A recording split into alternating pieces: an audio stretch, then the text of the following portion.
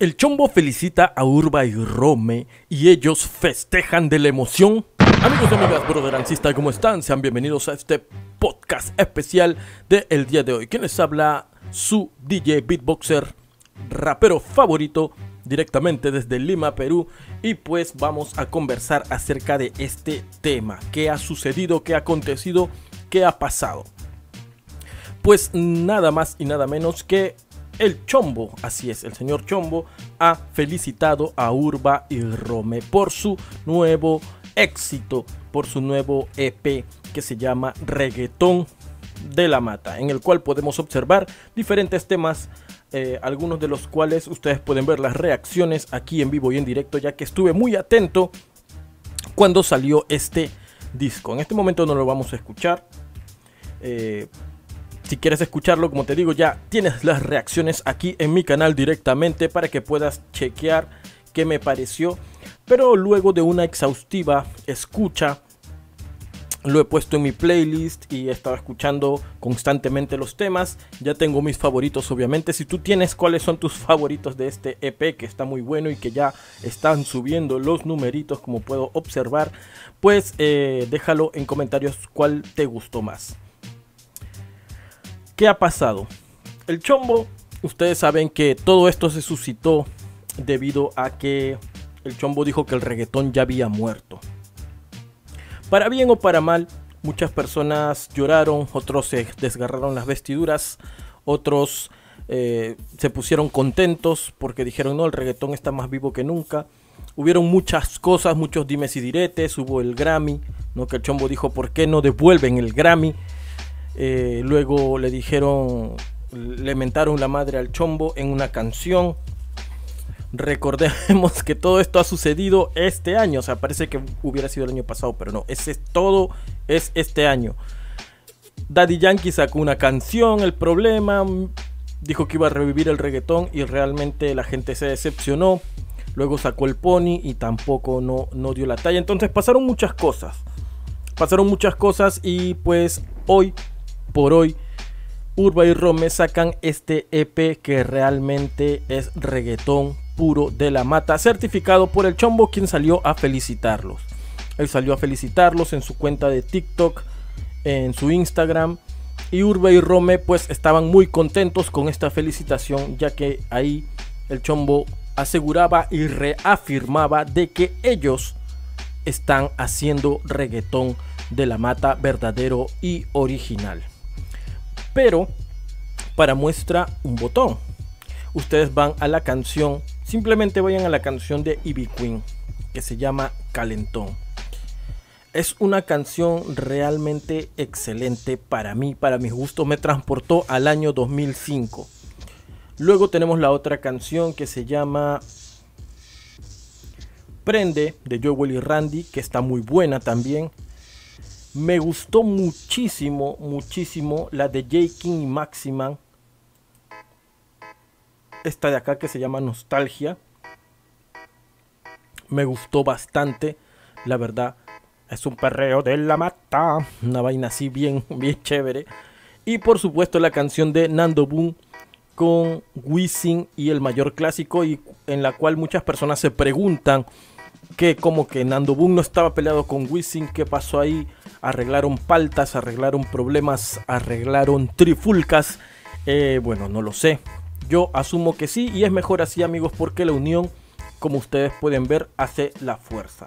¿Qué más tenemos por aquí? Tenemos a Treble Clan junto a Franco el Gorila, Ranking Stone, con su canción Delito, que también está muy buena la canción. La verdad, eh, me gusta más la parte de Ranking Stone, tengo que ser sincero. Luego tenemos Urbo y Rome junto con Marconi para Randy Placita. También están buenas, pero dentro de mis favoritas están estas tres. La de Ivy Queen, la de Nando Boom con Wisin y Mayor Clásico. Y por supuesto que sí, también la canción de eh, J. King y Maximan. ¿Cuáles son tus favoritas? Déjamelo en los comentarios. Ahora, ¿Qué pasa con esto? ¿Ustedes creen realmente, ustedes saben que siempre me gusta hacer preguntas de reflexión, ¿ustedes creen que ahora a partir de este momento en adelante la gente se va a animar a seguir haciendo reggaetón de la mata o van a seguir haciendo reggae pop? qué es lo que va a suceder. Yo por mi parte creo que eh, faltaba esto. Era el álbum que faltaba realmente.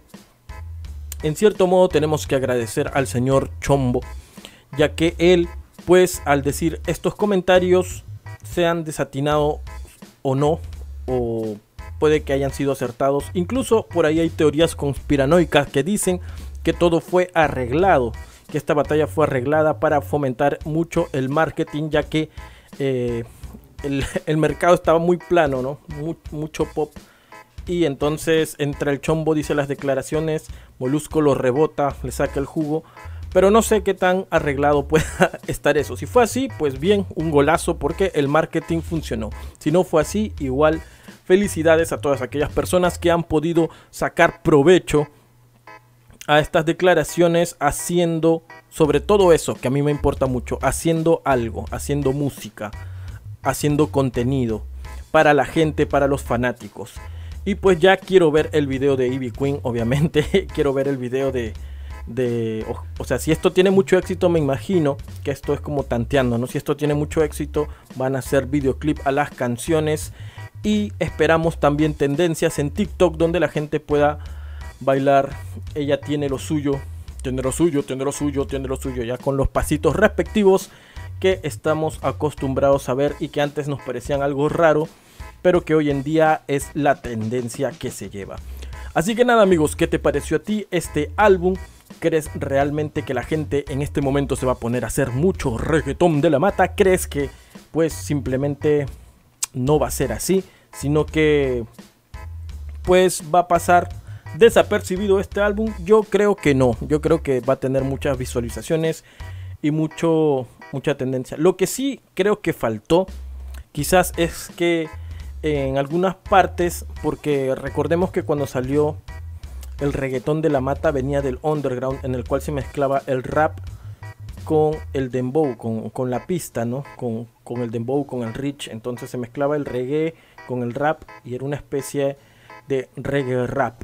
Entonces creo que faltó por ahí alguna canción así que tenga esos cambios, ¿no? Como la canción de Bizarrap junto a Nicky Jam, algo así. Hubiera sido genial que Urbo y Rome se junten con Bizarrap, sería una cosa de locura, pero eh, nada está dicho. Nadie sabe los crossovers épicos que pueden suceder en este momento en adelante.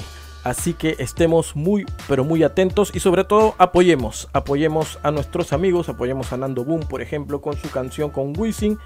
Eh, dejemos likes, eh, reproduzcamos la canción para que esto haga bulla y más productores como estos que se han puesto las botas, se han puesto realmente las botas para poder sacar adelante este proyecto que eh, en cierto modo sí es reggaetón underground en estos tiempos ya que no es lo que se suele hacer. Así que por mi parte esto es todo el día de hoy. Espero que les haya gustado este video podcast. Como siempre les suelo traer las novedades, las cosas que suceden y pues a los amigos del Chombo también un saludo para todos ellos. Se despide su amigo Aaron Well y no olvides que las intenciones no se dicen, sino que se demuestran. Nos vemos en mi Instagram porque ahí estoy haciendo muchas cosas chéveres. Nos vemos. Chao.